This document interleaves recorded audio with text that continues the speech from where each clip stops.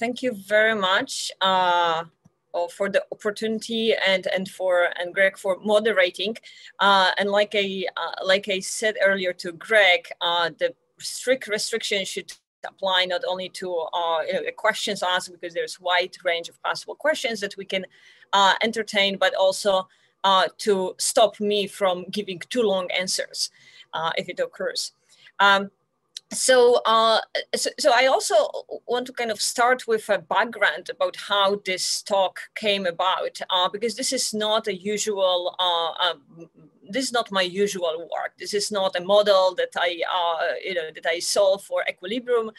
Um, uh, Andre and uh, Julian asked me at some point, would blockchains, blockchain businesses replace or disrupt, disrupt um, uh, platform businesses, platform merchants. And I said that's an interesting question. I actually was thinking a lot about the relations between blockchains and platforms and, and how they could compete and how, how blockchains could affect competition in block uh, in, in platforms market. So let me um, say, you know, this, this talk is more about setting up a question and hypothesis and, and frameworks or how to think about those technologies. Because blockchains and blockchains are you know this new technology that that uh, that promises decentralization disintermediation and democratization. And we already had a technology like this. This was internet and that led to biggest intermediaries that we have ever seen so will uh, blockchain really deliver on the promise uh, that, uh, that the internet only partially delivered on? Um, so this is how uh, I, I kind of set it up as blockchains versus platforms. And uh, uh, this goes back to the question that, that Andre and Julian asked, will blockchains disintermediate platforms? I'm, I'm, actually, you know, flattening the question here. Um, but uh, the, the, the background, I'm not going to spend more than half a slide about what the platforms are in general for this crowd, uh, but just to kind of pin the, um, the attention is uh, platforms, the, the defining feature almost of the platforms is that they attract independent uh, users, independent parties, and they connect the, partic the participant. Online platforms very often connect them algorithmically. Uh, and uh, there are strong network effects. Network effects create barriers to entry, but if the platform can uh, get their network effects on their side and overcome uh, the network effects problem, coordination problem, then uh, a successful platform uh, can actually enjoy network effects and harness um, harness the benefits of it, either through higher prices or through other ways of extracting value. And this ability to extract value attracted uh, attention of proponents of blockchains who say, oh, we have this decentralized structure. Uh, would it be possible, or maybe proponents of blockchains assert that it would be possible uh, to provide similar services as platforms do, but on blockchain, there will be no entity that would uh, capture this additional uh, this additional um, value, and therefore the value would be fully distributed to all the users, and this will uh, be a better deal for the uh, for the users for the economy. So uh, I'm I'm exploring here the question of whether it would really be the case and maybe what dimensions we need to look at. And of course, you know, to start with, I'm I'm assuming that I'm not going to, I will not need to explain a lot about uh, about platforms, but we should uh, be a little bit clear about what what blockchains are and what blockchains do. Um, I, I, say blockchains in, in plural because there are many different designs of blockchains. The blockchains, different blockchains may have different characteristics. Um, uh, but uh, uh, and and I, am going to get into uh, what, the, what is the common characteristics of many many blockchains. Um, but typically, when we start when we talk about blockchains, we start with Bitcoin, and something to be said is Bitcoin was created as this decentralized way um, of managing uh, digital uh, digital currencies. So this is a very specific problem and Bitcoin is a solution to a very specific problem. So whenever we have digital goods, digital goods are digital files are really easy to copy perfectly. Uh, and uh, as much as it's great when we want to copy files and send it among the routers and uh, between our devices, when we are seamlessly copying and costlessly copying uh, music and movies and uh, and digital goods that are out that, that have been created by somebody else. It's called piracy. It's a you know it's a it's a problem. But if we would be able to seamlessly copy money, uh, then it would be a disaster for this money system. So this is called a double spending problem because you can spend the same uh, digital dollar over and over again because it's just a digital file. Um, this double spending problem typically for digital currencies uh, is solved by having a centralized party that keeps the ledger and basically keeps track of whether somebody already spent this one dollar or not. And this is what we have with credit cards, with banks. So digital money has been around for a long time. The, what, what Bitcoin brings is the distributed or decentralized digital money where we get away um, uh, we can create a system without any, uh, any central uh, trusted third party to manage the ledger. So by design, by the virtue of being a solution to this particular problem, it is distributed. It means that it's composed of only peer-to-peer -peer nodes. None of those nodes is more important than others. But it's even more than this. Uh, to this extent, there is no, nobody is more important than anybody else, that there is no not only no trusted third party but there's also no party that is that would tell who can belong to the system and who cannot. And this is what makes it a permissionless. So this is like the the ideal democratic uh, democratic situation. Um, the way that this, uh, uh, this, this problem was solved in Bitcoin is that all the transactions in the uh, in Bitcoin currency are collected in blocks and they are linked by uh, by hash pointers and this is what gives it a name a blockchain because the blocks are, are linked in a chain. Um, and uh, the validators anyone can become a validator. Validators compete uh, to to be able to add this block of transactions to the uh, to the blockchain and uh, whatever is in the blockchain is kind of commonly agreed on. I'm going to comment on that. Um, but what is even more important in particular setup of Bitcoin, all the transactions are public. Uh, so anyone can um, can uh, can verify validity of the transaction and can anyone can make sure that there is no double spending that the same bitcoin has not been spent twice uh, and while they are public, they're also pseudonymous. We don't really see the identities. We just see the, uh, the wallet identifiers. Uh, and anyone can have as many wallets as they want. Um, and maintaining integrity of the ledger relies on costly mining. So the, the way that uh, misbehavior is kept at bay, that validators, even though nobody is policing them, um, they need to uh, they need to really do a lot of costly work. They are rewarded by new bitcoins and uh, and this makes it worthwhile but this costly uh, uh costly mining is what um, uh, is one of the main features that uh, that assures credibility of the ledger. Now i'm not going to get into the the main details of how it works. For that there is there are a lot of works and i can i'm happy to recommend but um, something that is related to that there are a lot of economic forces and a lot of game theory involved in the in Bitcoin system. Um, but very often Bitcoin uh, is, is, um, is said to be immutable. And this is not the case. So um, you can rewrite the ledger. It is possible. It's just rewriting this ledger on purpose in case of Bitcoin is very costly. And it is costly exactly because mining is costly. And mining is costly exactly because of mining is costly in Bitcoin because Bitcoin price is high and miners are willing to bear this cost in order to get those Bitcoins. And this is why if we have currencies with exactly the same design, but with uh, uh, but but with lower value of currency, they actually have experienced this uh, rewriting or double spending or or changes in the in the blockchain. So here I am going in this talk, I'm going to assume that we have a well-functioning uh, blockchain. Uh, and there's a lot of work about what makes a blockchain well-functioning or not under different conditions. I'm not going to focus on that. Um, what I do want to kind of mention is what do we mean by the ledger? So we have a well-functioning blockchain. It's for all practical purposes immutable. And we keep talking about the ledger. And if you read anything about blockchain is the ledger.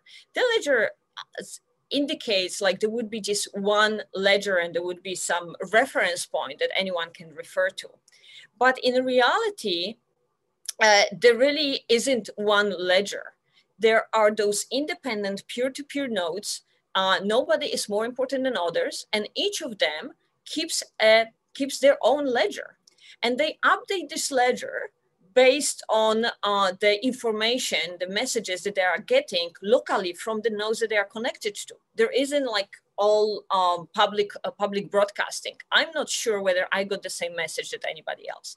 And the ingenuity of the consensus system is such that we are going in a well-working consensus system, we are all going to end up with the same copy of the ledger. And, uh, and this, is, this is important, I think, for what the blockchains are offering uh, in terms of um, in terms of interactions and opportunities and uh, as platforms. So the ledger is really a shorthand for consensus. There's just many, many ledgers, but if everything works well, we have uh, many, many copies of the same ledger. So um, Bitcoin's blockchain is just one possible design of blockchain. When um, Bitcoin uh, got to the got to the media and um, there was a lot of excitement and it seemed to have worked. And uh, even though despite initial skepticism, there was no double spending, even though anyone can become a miner and anyone can participate in the system, there were uh, a lot of voices about how about using the the uh, Bitcoin system uh, for moving any other value or for creating other systems that are coordinating and creating consensus in a similar way between independent parties without any trusted third party. Uh, now, quickly it became clear that the Bitcoin, the particular Bitcoin uh, uh, blockchain is not a good, uh, good solution for the industry uh, and enterprise solutions uh, for enterprise use. So first of all, public transactions would not be really good for competitive behavior because you would need to reveal all your transactions to your competitors if we would put everything on the same shared ledger. Uh, pseudonymity does, does not really work for a small number of players because you can easily identify them by transactions. There's high cost of mining, which is crucial for Bitcoin to be reliable. And uh, nobody really wants to bear this high cost of mining. And uh, has environmental impact as, as well. And what is important is that uh, Bitcoin's particular blockchain offers only probabilistic settlement. So uh, at any point, you may learn that you actually don't own the Bitcoins that you thought you have. They just disappear from your wallet uh, because there may also be accidental, uh, so even though it's protected against more or less malicious, but there may be accidental reorderings of the blockchain. Uh, and it comes from the peer-to-peer -peer nature.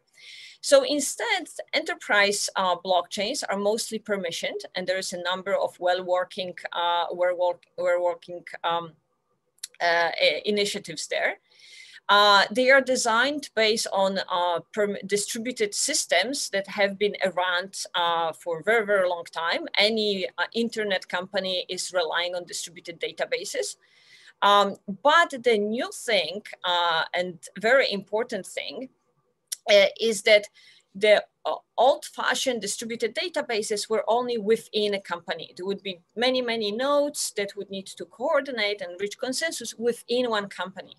What blockchain consensus mechanisms that were developed since, what they allow us to do is to have this uh, cooperation and bringing together independent companies. So we see the enterprise uh, enterprise blockchain um, where uh, we have a shipping industry like TradeLens.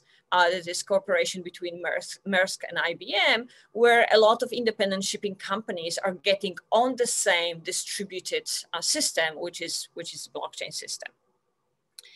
Um, and it also is possible to have a system where we share this information, but we don't necessarily see the information.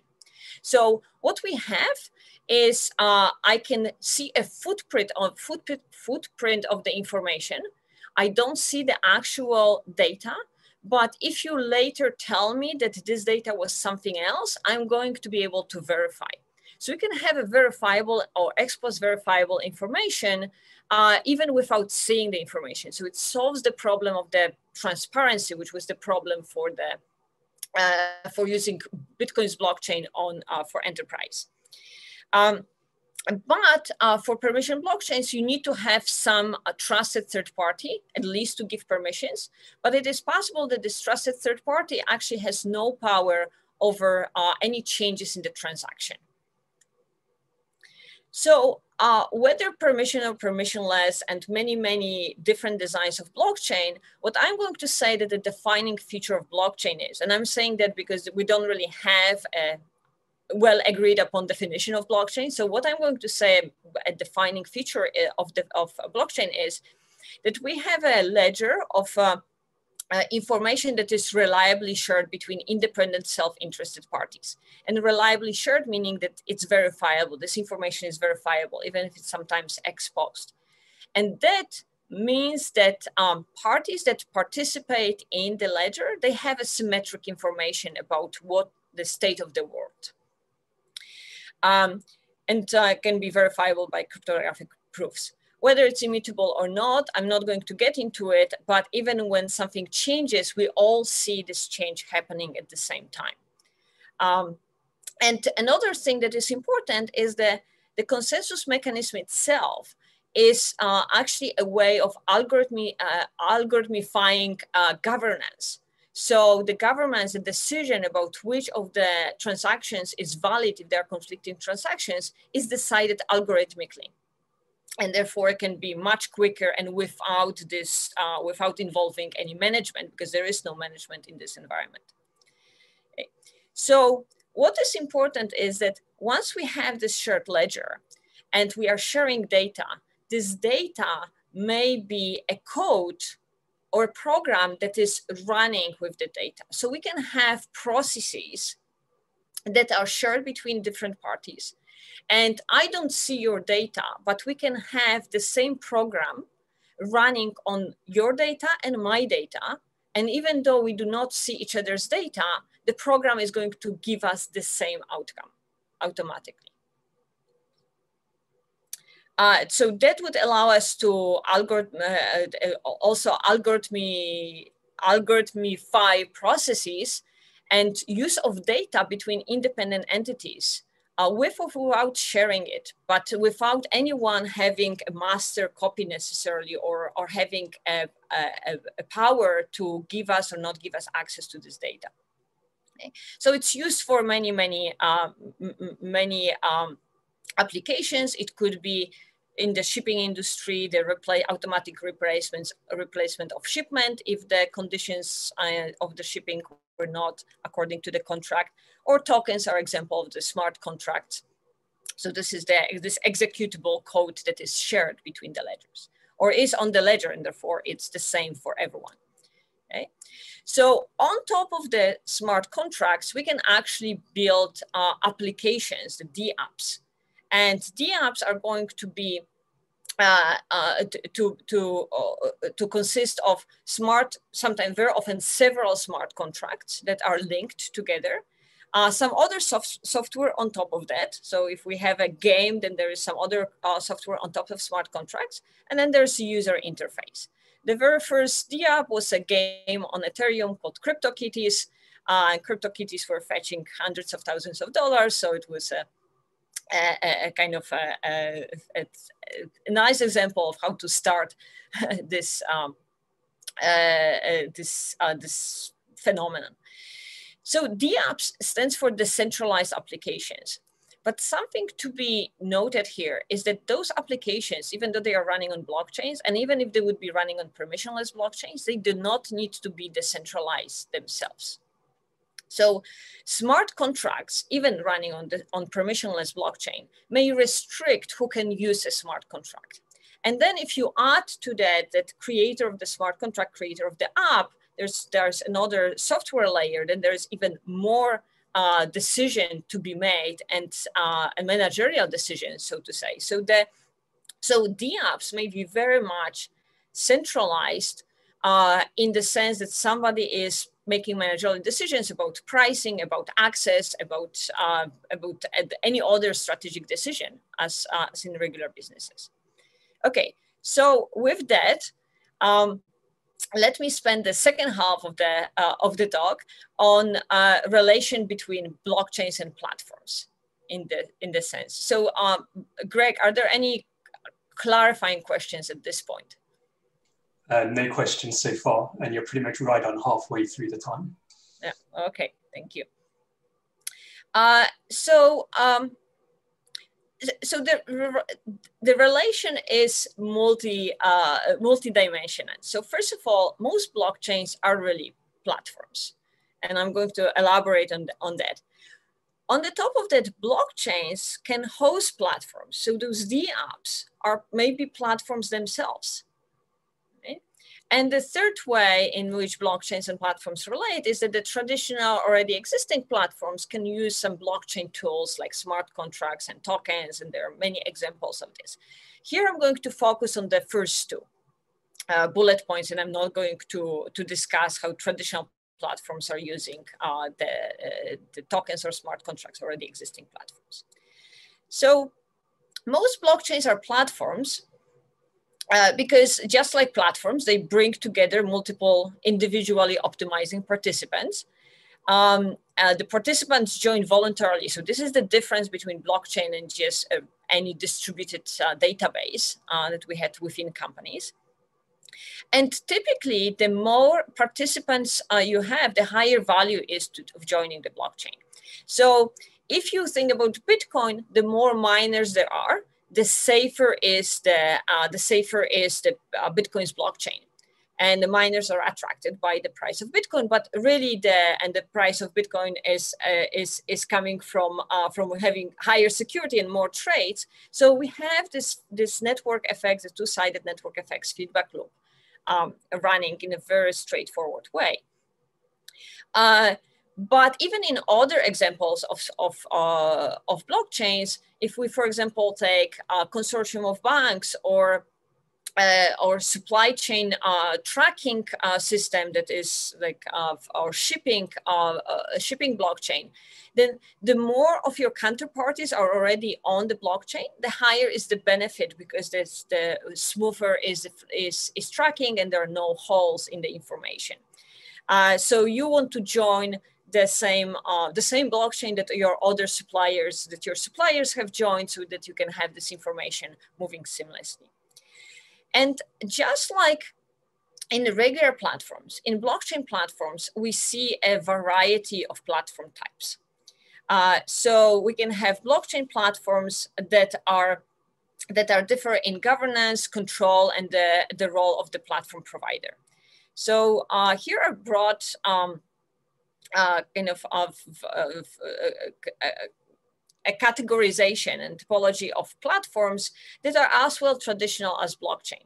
So uh, in the traditional platforms, we mostly focus in our analysis and in uh, economic endeavors on the centrally managed platforms that have a variety of strategic, strategic choices on price, access, of uh, advertising and uh, you know the number of uh, uh, number of items that you see when you when you're making your choice and so on. Um, the, uh, there is some uh, some discussion about open platforms when we talk about Wikipedia and Linux, for example. those discussions about open platforms are often uh, focusing on uh, comparing the open platforms and the centrally uh, managed platforms. There do exist also uh, co-op and consortium platforms, but we typically don't really explore them much more in much much in our research. So uh, Mastercard and uh, and Visa, before really going public, they were a consortium platform owned by the banks. Uh, Swift is a consortium platform, but there are many others. There, there are competitors to uh, to Uber, there are competitors to uh, Airbnb that are consortia platforms that are owned by the participants and they are jointly managed. we see the same kind of structure of different platforms in blockchain platforms. So in blockchain platforms, the focus is actually on different, uh, uh, it goes in different direction. So we mostly, uh, you know, what, what, what is mostly discussed in the public sphere is Bitcoin and Ethereum, which are completely open platforms. Uh, there is nobody there even more open than Wikipedia and Linux because there isn't uh, really, especially for Bitcoin, there isn't anyone making final decisions or vetting or, or being able to shut down the website, uh, like in the case of Wikipedia. Uh, and similarly in Ethereum, despite Vitalik Buterin's uh, uh, uh engagement, he could no, he would not be able to shut down the, um, the network. And they do operate very effectively. Um, but we also see uh, a co-op or consortia platforms uh, running on blockchain. So a, a kind of well-known example or discussed example would be what was called Libra and now is called Diem, the effort of Facebook to gather other uh, other companies and together create this consortium uh, uh, consortium uh, blockchain for managing of stablecoin. Uh, there, there are, so Spunta, uh, Spunta Banca is a consortium blockchain for banks in Spain. Uh, that is already operational. Uh, and there are also centrally managed platforms that are based on blockchain and they were created uh, solely because the blockchain technology was available.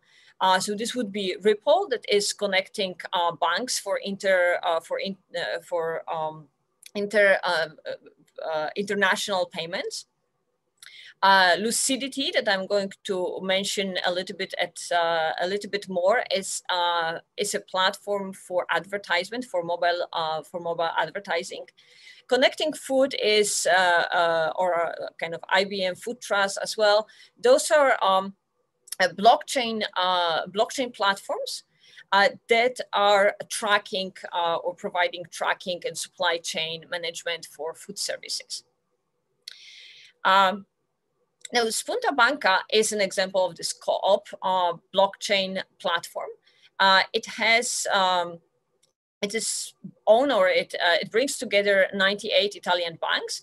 It was promoted and it is promoted by, by Italian Banking Association and it's coordinated. So the key here is it's coordinated by the ABI lab, but it's owned and controlled by the banks.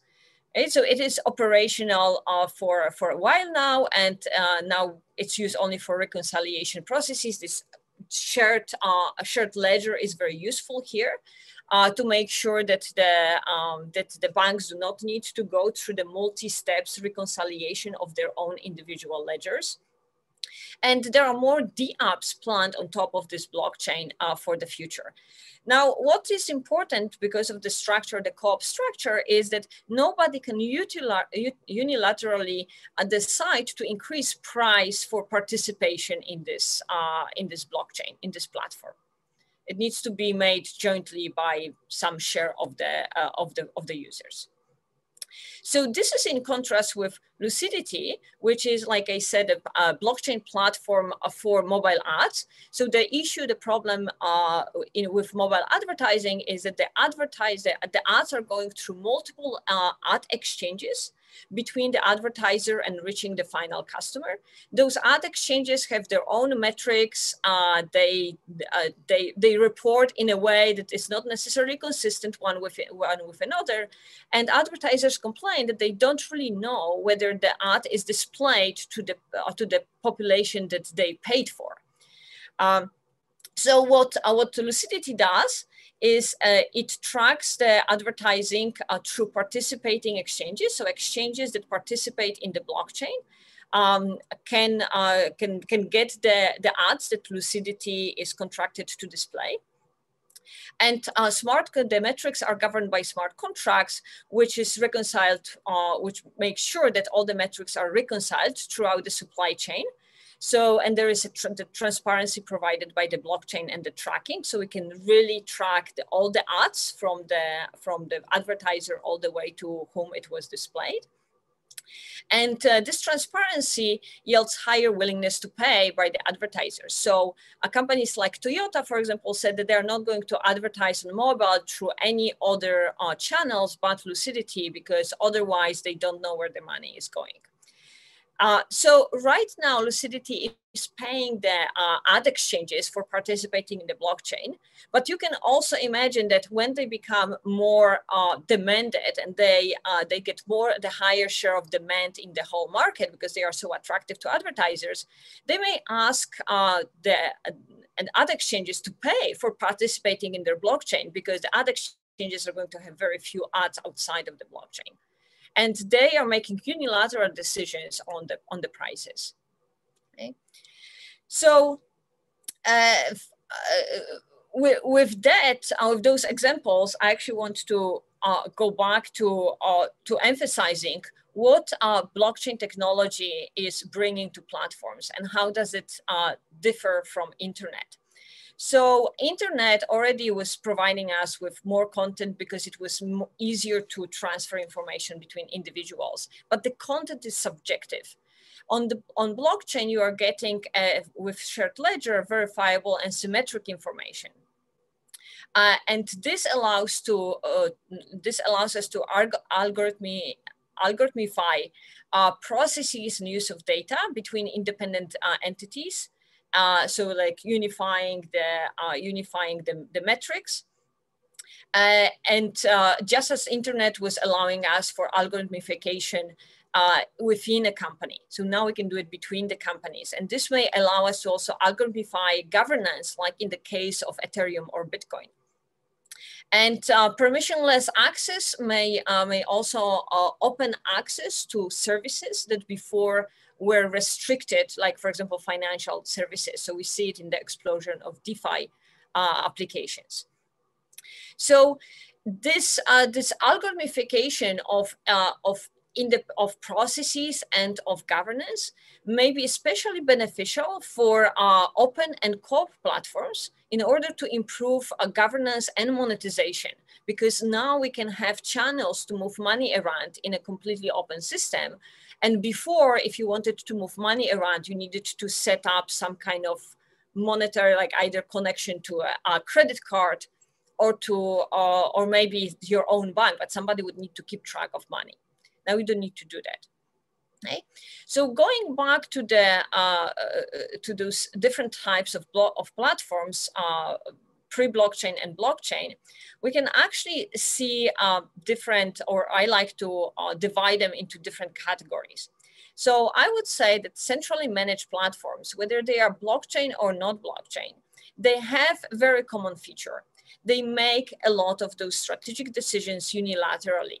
And uh, the uh, centrally managed blockchain platforms, they're using blockchain as technology, but the fundamental economic forces are very similar.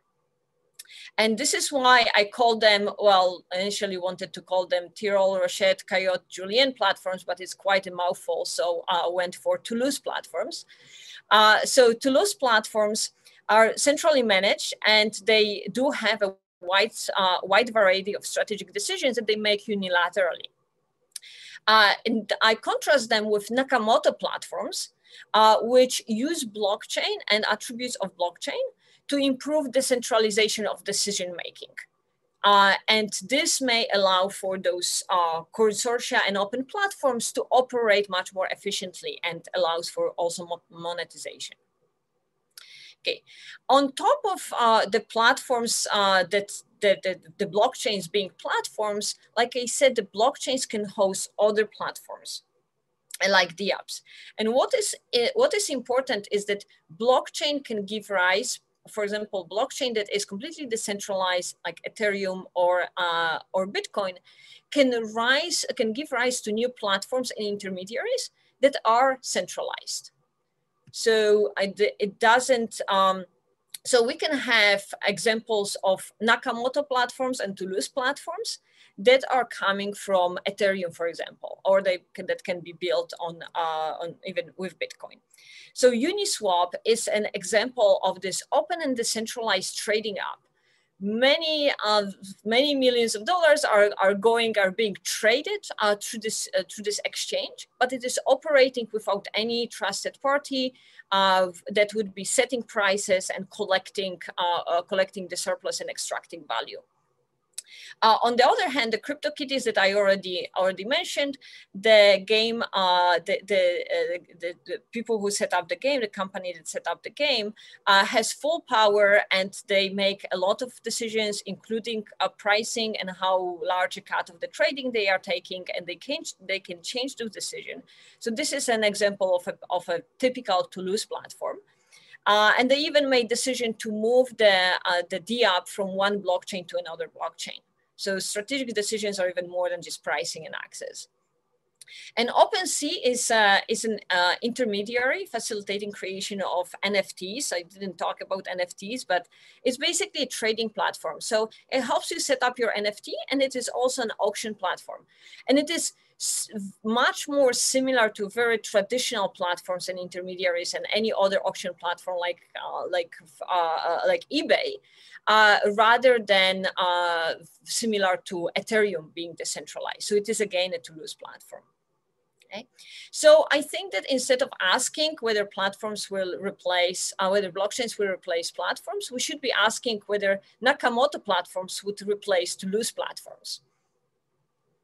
Uh, so uh, let's suppose that uh, you know we have a completely open and decentralized ride-sharing app, like like uh, uh, similar to Uber, but it would be a Nakamoto platform. So Uber is not taking the fees, it's not taking the cut, it's distributing all the value to the to the users. So would it replace Uber? Would it be more attractive than Uber? Would it be cheaper and better? So in fact, we can uh, inform our thinking from already existing studies about competition between open and proprietary platforms. So what, what we're learning from those studies is that while open platforms often offer lower price for a given size of the network, they face challenge in actually coordinating and growing the network. And this is because the proprietary platforms can offer subsidies, can actually go and, and advertise much more. Uh, and, uh, and they can quicker improve, uh, improve quality. There's also an important element that uh, I don't think has been explored very much in the literature is if you have, for example, consortium platform or open platform, there, there is a big difference in incentives, in objective function. So uh, a centrally managed platform is going to have objective to increase uh, profit of the platform. Whereas if you have an open platform or a co-op platform, it's going to have the individual members have different objective than maximizing the total uh, value of the, uh, the total profit of the platform. And this fundamental economic, these fundamental economic forces are not changing if we have a technology like blockchain that is, even if it's allowing for open and co platforms to operate more efficiently. Uh, so uh, Nakamoto platforms, you know, may or may not drive Toulouse platforms out. Uh, I, am not, I'm just making hypotheses here, and it is actually a subject that could be a good subject for future research. And I think that in this crowd, I want to convince, convince you that it's a good topic to take on and explore. Um, I suspect that Nakamoto platforms can increase competitive pressure, but mostly for open and co-op platforms. And for and as co-op platforms are more efficient, maybe it will increase pressure on the Toulouse platforms. Uh, they may decrease barriers, uh, barriers to entry uh, by removing these participation restrictions, but this probably applies to small set of industries where those restrictions are already existing. Okay, so in conclusion, uh, what I uh, what I'm arguing here is that blockchains and when working property, again, I'm not, I did not get into this, those conditions, they offer a shared ledger of information. And this facilitates linking processes and automation between independent entities. And this is a new, um, new aspect. And uh, it may facilitate this centralized governance, which will make uh, open platforms and co uh, cooperation uh, co platforms more efficient. But blockchain platforms can be both centralized or not. So there could be Toulouse platforms, what I call Toulouse platforms and Nakamoto platforms. For uh, uh, co-open consortium, uh, co-op consortium and open blockchain platforms, they may be more efficient than non-blockchain open platforms and uh, that may uh, that may provide this competitive pressure on the centralized platforms. Uh, the open blockchain platforms may provide access to services not available to individuals otherwise for at least some set of services. And uh, and, like I said, Nakamoto platforms may increase competitive pressure on Toulouse platforms as well. But in the end, I would say that all types of platforms may benefit from blockchain. And what is still, you know, an open research question is which of those, uh, which type of the platforms is going to benefit most. And uh, just to kind of uh, finish, if you are interested, if this talk succeeded in interesting you in, in, in blockchains and you want to explore blockchains in relation to platforms, you may also like the, so uh, together with co-authors, I wrote a, uh, a, a, a, summary of um, or overview of literature of economic forces uh, that are playing out in, uh, in cryptocurrencies, which is you know one of the open platforms. Uh, so this may this is a clear link between economics and and and blockchains, and also the uh, the book that I have with uh, Sarvary and Guillaume Haeringer now uh, is going into the second edition. And both those papers so both the book the chapters of the book and the uh, the JEL paper are available on ssrn uh, so for the book, those are preliminary chapters, and in fact, any feedback would be uh, would be very useful at this point if you have. Okay, so uh, let me finish here, and thank you very much. I hope it was. Uh, uh, I hope I'm going to get uh, more co-authors working on and and competitors working on blockchain and platforms. Thank you. Um, thank you, Hanna, for the expert timekeeping. Um, now we go to Andre for a five-minute discussion.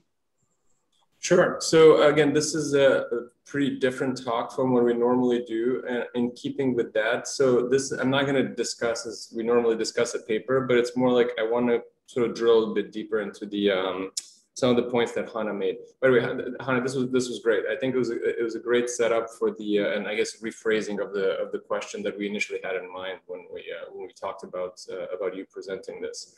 So just to sort of push the discussion for, uh, forward based on what you, what you what you talked about, I think will be really interesting is, is to see if we can nail down a little bit more clearly what the what the main trade-offs are between the Toulouse platforms and the Nakamoto platforms. So maybe say, um, let's say I'm thinking of basing a platform on blockchain. So right, I can be somewhere in between a pure Nakamoto platform and a pure Toulouse platform, but I'm, I'm considering using the blockchain. So what will be the main trade-offs? I, like what are the main benefits and the main issues? So like there, I think there's some interesting economic issues here, right? I think you hinted at some. So I mean, I'll just say a couple that I think are pretty obvious. So one of the great things about basing, so if you're basing uh, your platform, like we're using some elements of the blockchain, I think a key thing, which you hinted at, but I think we can discuss in more detail, is there's some aspects of governance that instead of being unilaterally decided by the platform sponsor, I mean, I think of this being like a dictator, right? I mean, I can choose to do whatever I want in terms of governance. There sometimes there might be some benefits in having those algorithmically done. It's almost like a credible commitment to have a democracy in some sense. So that could be one benefit. On the cost side, I think you mentioned some, right? I mean, there's slower decision making. It's a little bit harder to solve the chicken and egg problem. I can also think about issues around with the switching. If, if we're basing the platform on the blockchain, presumably this, I mean, I think my intuition is the switching cost would be lower. So it's maybe a little bit harder to have winner take all than with like with traditional platforms. So, I mean, I'm just curious what your, what your thoughts are. So can you can you elaborate why you think that the switching cost would be lower if we base our platform on so that's a good one. So actually i think maybe that's one of the, the key ones because that's one of the key questions right that we always do with network effects. Do, you, do we think it's going to lead to tipping or not? So i haven't thought this entirely through but my and, and uh, my idea was something like if i'm basing my platforms on a blockchain i mean there's it's a bit like open source right? I mean i'm I, there's a mechanism in there that is outside my control and i'm thinking others can basically build very similar platforms on the same on the same base right? So like for instance um, so it would be a good example? Let's say the ride sharing part because you like there's a bunch of articles online saying you know uber is a uber is a blood sucking intermediary and therefore we're going to create uh, uh, you know there's going to be um, there's like some blockchain initiatives that say we're going to create like a million competing ubers right? So like there's no more power to the intermediary. All the power or all the benefits accrue to the uh, to the to the drivers and the riders. Well I mean, again, I don't really believe it's that extreme, but certainly, if, for example, if the identity and the ratings and the information about the drivers and the riders is on a blockchain, then that takes away a lot of the power, a lot of the strength of the network effects that you could accumulate around the proprietary platform. Now, you still need some proprietary element but wouldn't that take some of those away and therefore make switching costs like if i if i'm the driver i can basically take my reputation if if my reputation my identity is on a blockchain i can i can i should be able to more easily switch between different competing platforms shouldn't i so yeah so i so i guess the uh the the the question here is whether the information is public and portable right because right. Uh, why wouldn't you be able to take your uber ratings out why aren't well, because it's controlled. So in the case of proprietary platforms, I think one of the things they do is like a lot of it. So a lot of it is completely controlled by them. Uh, yeah, but you can have you can have a screenshot of your rate, rating, and this is your rating. And why can't you take this rating with to the other, uh, to the to the to another platform? And uh, so if we are going to, so I think that what you are assuming is that we are setting up a completely open decentralized platform on blockchain. So like I said, on blockchain, we can set up a platform that is centralized and limited. Uh, so you can see the information, but you may not be necessarily be able to take it out. I mean, you can, to the same extent that you can uh, take a screenshot of your Uber rating and you can take it out. But the uh, just because it's on blockchain does not mean that it's interconnected. By the so, way, so I think screenshot. So I think screenshot is a bit like I don't think it would be credible enough, right? I mean, I think screenshot would not be enough. So you need to take a little bit more than that. But I think I, I see what you mean. So it would be you. So I guess you can play around with how much. So like we we can play around with how much control you can give over the information and how portable the information can be, so right? For the for the participants. So for example, are you going to? You can set. You absolutely can set up a, a, a, platform on a blockchain where all the information about the drivers and the ratings will be publicly uh, publicly available. So then it would be easy to verify that indeed this platform, this platform, this driver has five stars. You can do that. Uh, would the platform want to do it? Uh, because why wouldn't Uber make it make it public? Instead, what you are seeing, when do you see the ratings? Of the, the ratings of the driver, you see it only when you when you call and when you are matched with the driver. And the blockchain app can also show you this rating only when you have called when you have called the uh, when you have called the, the, the.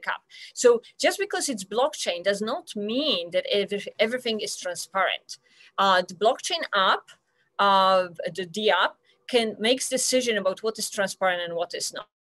Right. So, so, so, so, for, for example, uh, you know, the very first DApp, uh, which is CryptoKitties, uh, that uh, you know composed of four uh, four smart contracts, and we say so if it's some if the if we have a smart contract on Ethereum, we can actually see the code of the smart contract, and we can see even the ledger of the smart contract. So what, whatever is held in the, the state of the smart contract. Uh, but uh, with CryptoKitties, the genome of the CryptoKitties is actually held, the algorithm that is assigning this genome is held outside. So just like I said, we have smart contracts and then we have a layer of other software and then we have the interface for the app. So where does this, where, where do the ratings reside? Do the ratings reside in the smart contract and therefore they are visible or do they reside in the layer of the, uh, of the software? So you can have like um, Uniswap has everything only in the smart contract. So everything is smart contracts, everything is visible on the uh, on the blockchain. So now the question is, if you are setting up a, the app, you are making a decision about making it completely transparent and committing to this transparency or retaining some sort of uh, uh, uh some sort of uh, of power. And so uh, by the way, let me rephrase. So I just want to bring it back. So I think this is, a, I want to bring it back to the broader question because I think that's kind of what I'm asking, right? So like, if you think about this continuum between pure Nakamoto uh, platform, which would be like, I guess, as like as close to everything's on the blockchain, like you're right, maybe not necessarily transfer, but everything's on the blockchain versus on the other side, pure traditional platform where everything's completely controlled by the platform. You can be somewhere on this continuum. So I think then the question is like, what are the trade-offs of moving between one end of the continuum to the other?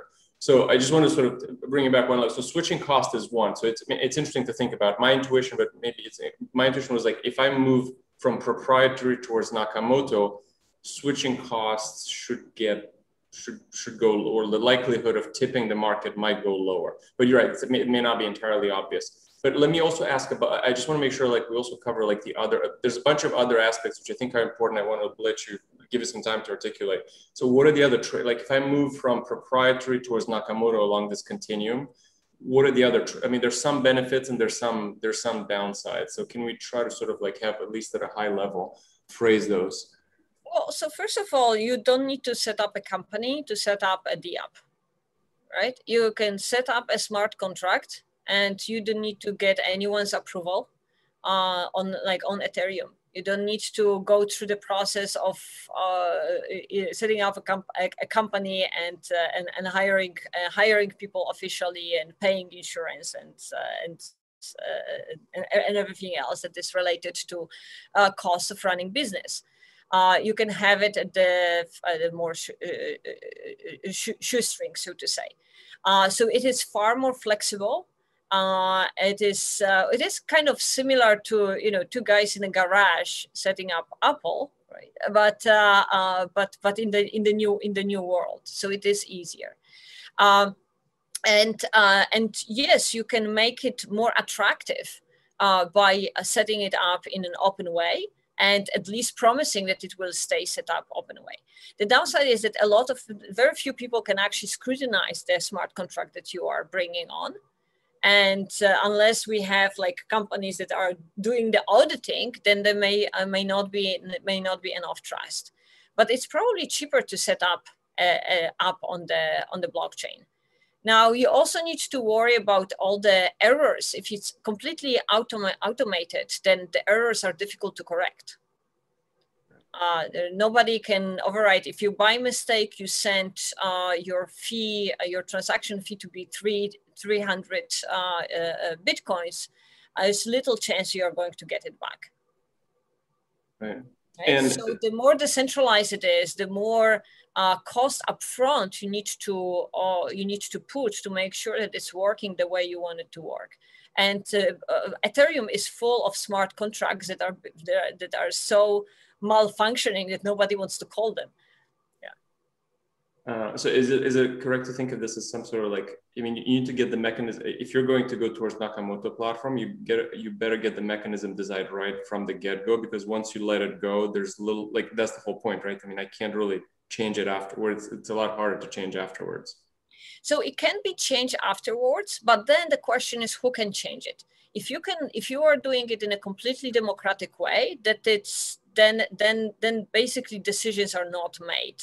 I mean, like even in democratic countries, we have the executive branch that is uh, that, that is making sure that things are working and the oversight and everything. So we have, if you have so Bitcoin, Bitcoin it, itself cannot fix a lot of problems, and whenever they try to fix it, they need to fork uh, because of the, the difficulties in making uh, decisions and making changes in a purely democratic system.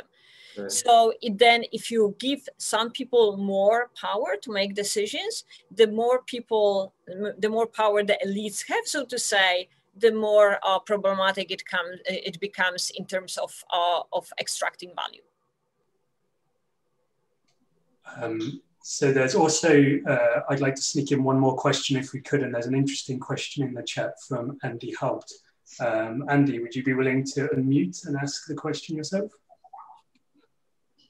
Uh, yes, not a good background.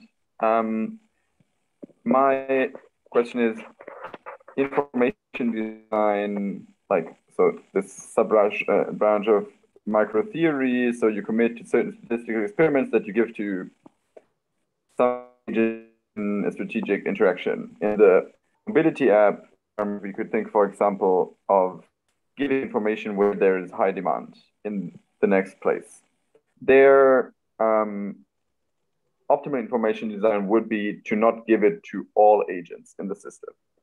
And I'm wondering, is it possible to, for a Nakamoto platform to commit to information this form, which is only some of the agents get information to some parts of the information, and they can they can trust the system given to us. Well, so the so so so in a way uh, we do have systems like this that give you uh, give you information on as need basis so you can have the you can have a, a an, an, even open blockchain and open nakamoto platform that gives you information only as need basis but it's going to be the same information for everyone so if somebody says, so, so this is kind of a, a, zero. So what is important is that we have the same information that is verifiable. So you can't, uh, so for example, what Waze very often do, or, you know, other, other maps, uh, uh, you know, directions apps, is that you want to go from point A to point B and they are not going to give you the same uh, the same route as everybody else because then it's going to just create congestion. They're giving different people different routes right? Uh, so uh, so um, I don't know whether you can you well you can do it if you have uh, additional layers of software. But if you have it if you have information directly on the blockchain that I don't think that it can be done that that shared information is different because if you're making a query, it should be the same information. So you can have it in a D app that is somewhere between the Nakamoto and Toulouse. Okay, so. has been where this has been formalized. I, I find this if this impossibility is stable, I, I would find that very interesting. Do you have any? No, so I don't. I, so so actually so I I haven't um uh, and this is an interesting question. There may be results in, uh, so the, the, the, definition of, of just pure stable, uh, uh, uh, pure smart contracts that are directly on Ethereum, for example. So, uh, so this is what a lot of a lot of blockchains, smart contracts on blockchain say, that you cannot have non-deterministic calls. So all the calls need to be deterministic which means that if you call a, a function needs to give you the same, uh, with the same conditions, going to give you the same return. So this would be this would be probably equivalent to this impossibility statement if we if we turn it around. Um, so we, reached um, the end of our hour together. What I would suggest is that I'll stop the recording now. And um, as I said, there's the opportunity for people to stay on the call if they'd like to continue the discussion um, on a more informal basis. And otherwise, I hope everybody would join me in thanking Hanna for an interesting and very informative talk. Thank you.